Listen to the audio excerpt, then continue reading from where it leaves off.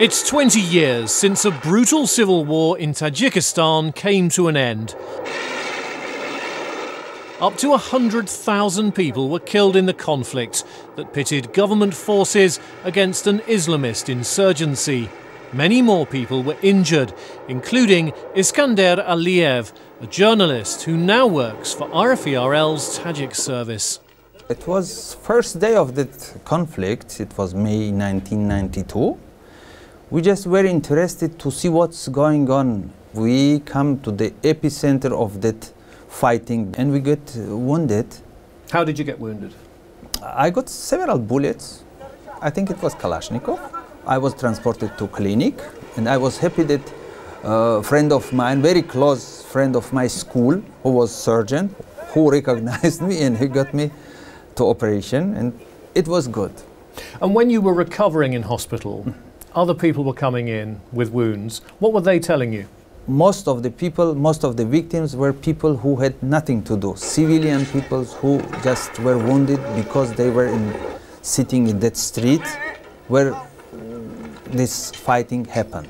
So, how did they view what was going on in their country, in their city at that time? At the beginning, it was, you know, something like um, funny event. Everybody was interested to see what's going on, but by time, everybody hated war. Nobody wanted to continue because we just were losing and losing and losing. Countries were shutting down their borders. Ties, economic ties, were cutting off.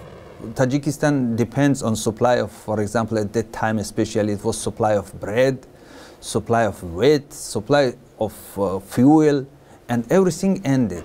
And it was very bad time. And that's why everybody wanted to be in peace, wanted to end of this conflict. But it lasted five years.